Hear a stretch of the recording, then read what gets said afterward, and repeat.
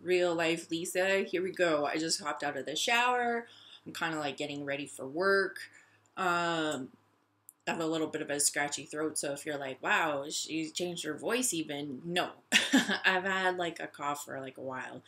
So, um, today I wanted to kind of show um, maybe like a tool. Like, I'm not sure, what is it today? Tuesday? Tool Tuesday? I don't know. I kind of hate like the names of like days of the week because then you feel like you're committed to do something on that Tuesday.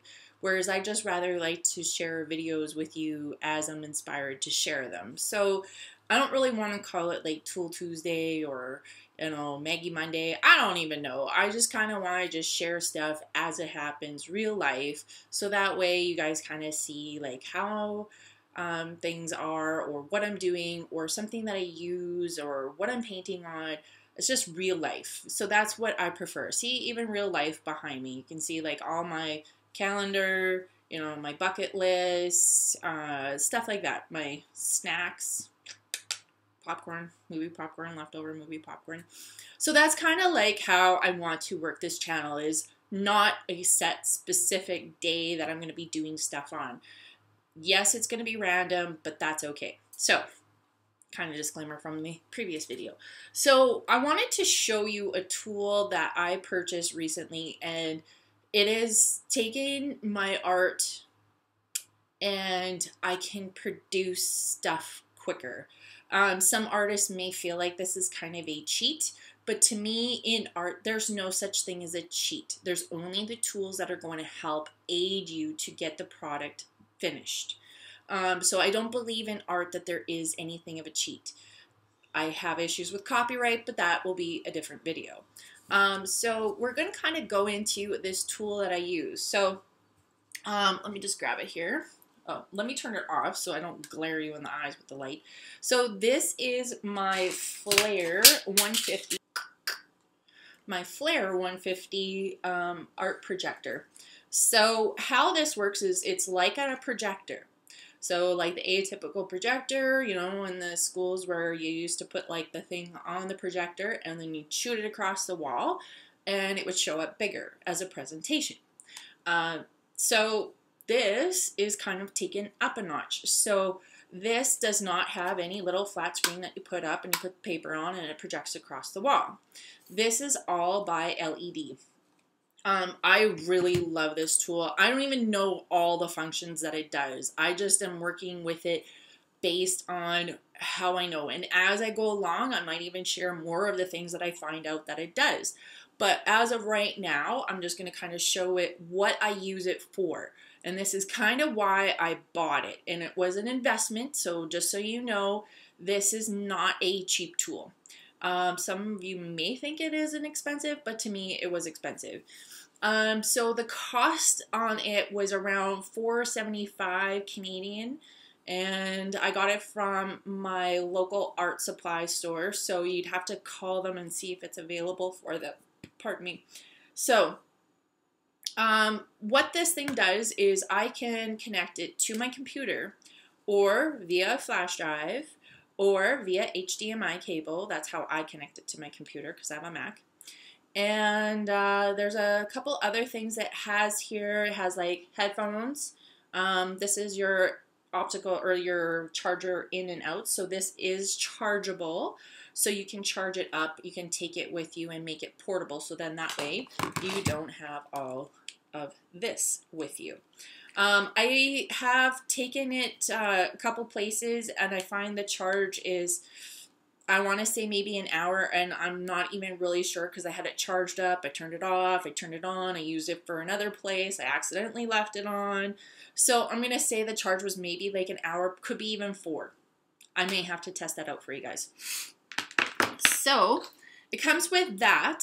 Um, it comes with, this is a, uh, what do you call it? This is where you put your SD cards, your camera cards, and stuff like that in. So you can put this into the back here, and then you can use all of the pictures off of this card onto the projector. So if you're trying to like take less work with you, if you're working somewhere in a gallery or you're going to a friend's place and you don't want to pack a lot, you can kind of take this. It also comes with this USB, so this is the Artograph uh, flash drive. Um, it has uh, videos on here if you're having troubleshooting. It has a couple of uh, good kind of um, basic images if you're trying to see how to put it onto the screen. Um, it has uh, FAQ videos, running into problems. I think I said that. Kind of like a general uh, purpose FAQ video. So if you don't like to read, because it does come with a quick start manual as well as um, the projector information. If you don't like to read, it has that. It also has on there um, how to connect your phone. So this is one of the big pluses for me because I don't really like to take my Mac everywhere I go. So it tells you how to connect your phone. I'm going to show you that in a later video, or not in later, later on in the video. See, this is me.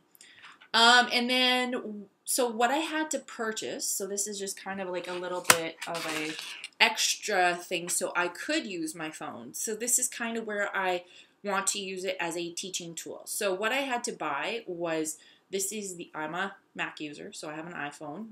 You'd have to find out for Samsung. I don't Samsung. I don't like any other phone. As soon as somebody hands me a Samsung or Google phone or Pixel or whatever kind of phone, I kind of freak out.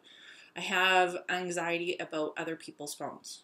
iPhone, no problem. Other phones, freaking me out. Okay, so what I had to buy was this is the um, splitter for my phone. I have an iPhone 7, so those of you who know, iPhone 7s don't have the auxiliary cord. So if you have the old iPhone 6, you could probably use a different setup than this, but this is what I had to buy. So this goes into my phone. So this part goes into my phone like such. Okay. This part here is irrelevant. This is only if you want to charge it while you are using it. So that's up to you. Then this is an HDMI cable. So I'm just going to set my phone down and I'm going to plug in the HDMI cable to this piece right here. And then I'm going to take the opposite end and I'm going to plug it into the HDMI cable here. So I'll show you what it looks like later, but basically I can now use any image on my phone and I can project it onto a canvas. Or I can take, um, you know, if I'm showing a slideshow on my phone, I'm showing a video on my phone, I can take that to a class and I can show them what I'm trying to explain versus I'm like, okay, I have a picture, it looks like this, this, and this. So it's a great tool, a great teaching tool if you are needing something to have portable. Um, the other thing that it comes with is it comes with this fancy remote. Um, honestly, the only thing I've used it for is for doing the settings. Um, it has a nice little grid button on here as well, which I have used that just to make sure I'm square onto the canvas. Um, it also has a grayscale. I really like to use grayscale so I can see the depths and tones in a painting versus going straight to color first. Gives me a great idea of where my color shifts need to happen. That's kind of why I use grayscale. We'll maybe get into that into a different video. Um, it also has a slideshow function as well, so you can do play, pause, rewind, etc. Um, it does play videos through your phone, uh, and it does have sound that comes through there, and you can connect um, a headset as well as Bluetooth speakers to that as well. So you can see it's a great, great tool. Um, we actually ended up watching Netflix on the projector. It's life. Well, well, you know, it works. It's like a giant TV. The only thing I would say is just make sure you have a really, really dark room. Um, it also has uh, a ratio button, so that way if you do need to change your ratio scale, so I kind of just left it where it is, and I really like the scale that it is. I think it's 16 to 9 or whatever. works for me. It works great. Um, it has a sleep button. Um, it has a volume up and down, page button, mute um, a still. So if you're watching a video and you want to capture a still, you can still the video screen and then you can use that. So there is a lot of functions on this remote. I do not know what all those little color buttons do. I think they're favorites or something, but anyway, you get the idea. There's a lot of functions to this actual projector. So I'm going to show you kind of how I use it. So I have my, I'm just going to kind of move stuff around here. I'm just going to pause the video and I'm going to show you what I'm doing. Okay, so we're going to take a look at my setup here. So I have my laptop. This is the HDMI cable connected into my flare. Um, and then uh, this is just the uh, battery power. So right now it's off. So I'm going to turn it on. Oops, I had it on. I lied. Uh, so I'm just going to turn it on. You can see there's a little red button onto the power here. So all you're going to do is just press and hold it. Well, press it. Um, if you do want to turn it off, all you do is press and hold it here like this, and then it'll turn off, and it goes back to that red button. So if you just press it, that light will go away, and then it's going to project onto here. So I want to show you, this is the image that I am you see my computer flashes a couple times. That's just the HDMI cable connecting to that. So it just kind of flashes. Um, so this is the new painting that I'm going to be working on. Whether or not I'm going to adapt it, I know I said I wasn't going to be ready to share, but I sketched it out onto the canvas and oh my god, she looks so pretty. Uh, I think she's a she, so we're going to say she's a she. So anyway, up on here, you can see I have the picture projected onto this canvas. So I'm just going to turn the lights off so you can see. Oops, let's turn off this light as well. So now you can see it is right onto that canvas. Now you can see I can take, this little is the focus, so I'm going to just move the focus for you so you can see. So I can make it sharper. Let's go really fuzzy so you can see. So there's really fuzzy, and then you just kind of keep sliding it around until you find a really clear image. So there it is, just like that, projected onto the canvas. Now, you can either move your projector forward and back to kind of adjust your, um, you know, adjust the size. So if I wanted it smaller, I could go like that. You can kind of make it bigger. So it's just exactly like a projector. So if I wanted it really small, I'm just going to push all the way to the front of the island here. And then if I want it bigger, I can just pull it back and then just kind of have it set out onto the canvas. So then what I do is I'm just to grab a pencil. So what I do, oh, she's super, super blurry. Hang on. I'm just taking a look. I just got to adjust it with my eyes, not the camera. And it's not going to be exactly where it was. I just want you to show you what I would do. So what I would do is I would come in here and I would just start penciling in the different shapes that I see and the different colors. And I would kind of just sketch out each one of the definitions in this tiger. So I would made sure I went really good around the eye. Um, so, and then the nose as well as some of these other little areas just to define. And then when it comes to the splatter, I didn't go into all the little details because I'm going to work on that with maybe like a palette knife. Not really sure yet. So I'm going to turn this off and I'm going to turn the lights on so you can see how it looks. Oops, let's go like this. Let's turn this off. Let's press and hold the button. And it should go off. There we go. All right, so now, whoops, just gonna turn the lights on so you can see. So you can see I have it all sketched out here. So you can see it's got some really nice characteristics to it. The composition, how I wanted it onto the canvas. So that's how I have been sketching out my paintings. So it's uh, really cool. Uh, so that way you can get a little bit more productivity out of it. The nice part is I like the fact that I can kind of take two images. So I'm going to show you kind of another thing that I'm doing. Okay, so this is how I like to use it. So up here, I know it's like pretty blared out right now um, just because of the light. But what this is, these are my boyfriend's dogs. So this is Clutch, right here. This is Clutch, let me pet his ear. And then this is Pola. So these are my boyfriend's dogs, and uh, as a Valentine's present, I'm gonna try and get it done by Valentine's Day. If not, it'll be late.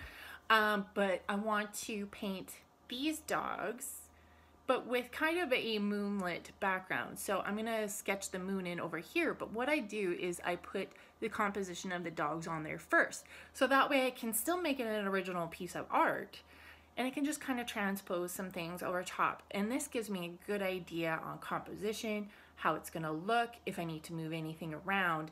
It's very, very low commitment. So it works perfect for my brain. So if I want to even make these guys a little bit closer, might even just make them a little bit smaller. So everything's movable. So I'm just gonna kind of put them like that. I might even move these guys up a little. I'm just gonna go up to my computer and just adjust this back just a little.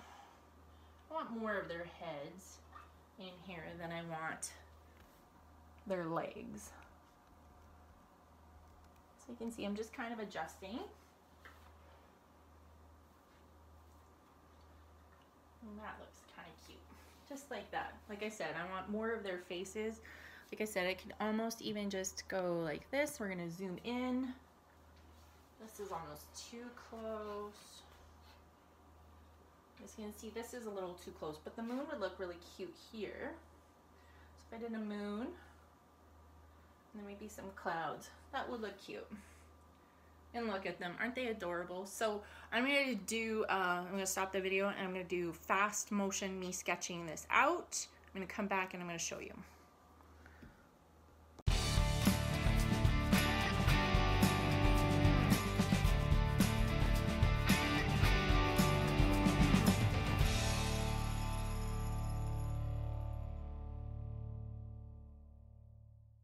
Okay, so now in a matter of minutes, I have these guys all sketched out. And now how cute is that as a uh, picture for, you know, him for Valentine's Day. So uh, I will probably show the progression as I paint on this one. Um, so I just wanted to show you how good of a tool that that projector is. So I hope you guys enjoy this video. If you do, give it a thumbs up and I will see you guys soon.